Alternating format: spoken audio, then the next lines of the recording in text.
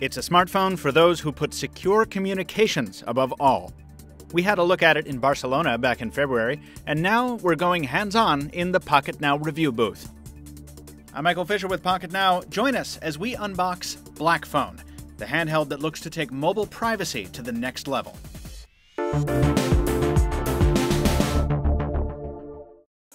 Our review unit comes to us from our friends at GSM Nation, a premium smartphone retailer and wholesaler.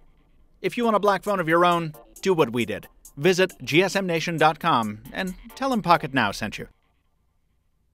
If a device calls itself the black phone, you can probably assume it's going to come in a black box. No disappointments there, and thankfully it's not the indestructible type. Cutting the security seal gets us a fairly standard unboxing experience, once we get past the cardboard top layer, anyway.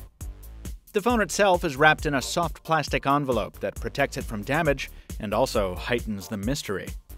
Underneath it is the usual bevy of inbox accessories, including documentation, a battery with a slightly concerning 2000 mAh capacity, a data cable and various charging adapters, and finally, something we're always grateful to see a set of earbuds that look very fancy indeed. Pulling the black phone from its recyclable pouch, we're struck by how completely nondescript it is. Besides the logo on the backside, there's nothing on this hardware of any note whatsoever. And even after we pop in the battery and snap the cover back in place, it's incredible just how light the device feels.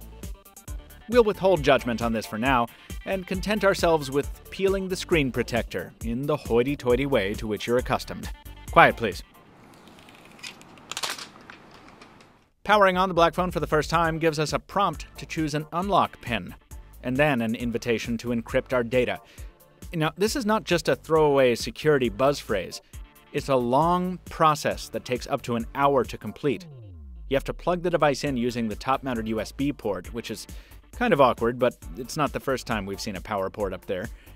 Once encryption is finished, you're welcomed to a phone that looks suspiciously like stock Android, but in place of the usual Google apps, there's a suite of pre installed titles from Silent Circle, and it immediately puts you to work choosing and entering passwords to jumpstart your new life of private mobile communications.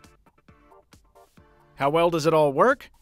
We'll see in our Blackphone review coming soon. And stay tuned also for details on a special Blackphone giveaway. Till then, let us know down in the comments what you want covered in the full review, and tune into the Pocket Now Weekly podcast Friday, August 8th, where we'll have this very black phone live on the air, and we'll be taking your questions about it. Till next time, this has been Michael Fisher with Pocket Now, Captain Two Phones on Twitter. Thanks again to GSM Nation for the Blackphone Review Unit. Follow us and them on social media and in the links down below next to the like button. Most importantly, thanks for watching. We'll catch you next time.